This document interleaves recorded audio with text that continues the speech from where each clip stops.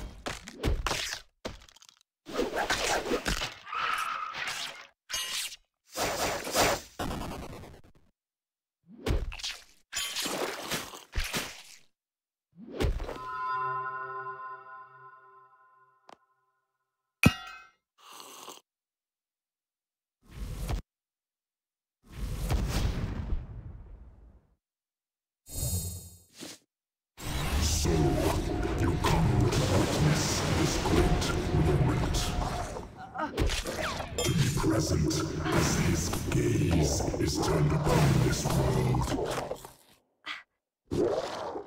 To be one of the first, blessed by his black radiance. I can understand such dreams. Come then, shed your mortal form and rejoice. Kastil Griaf, Fiarok